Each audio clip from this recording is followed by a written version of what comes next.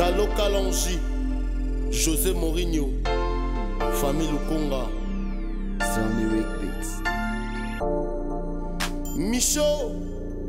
le grand Laman famille Lukonga. This is El Toro, Naleli Nabino, Dekolanga et JC Moussou.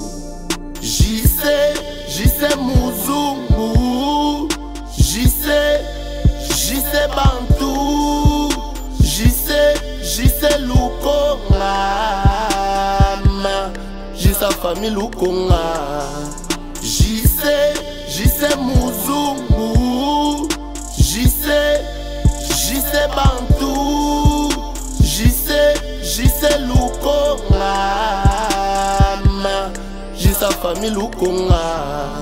jise lelo liwendi mememona se ebela be mpaka tozwa na yolo yo mutondima totya na se wakamuchachi na bashinois bango babundaka se na se oboyaki ndumba oboya kuluna mpo olinga no sincerité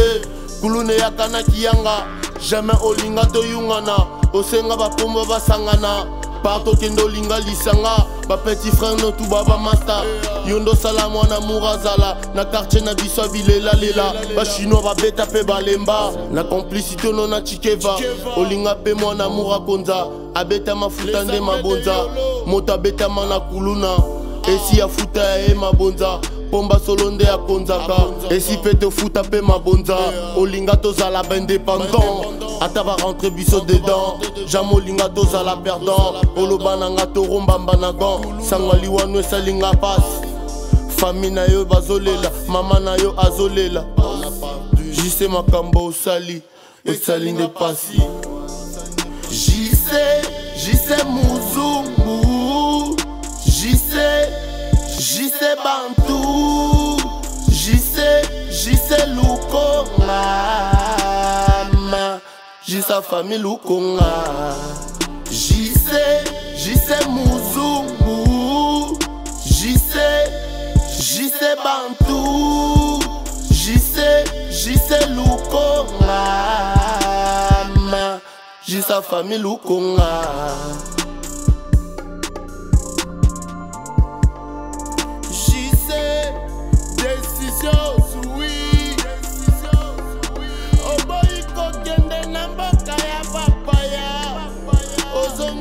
Bombo, motulu na yo na kongo eh.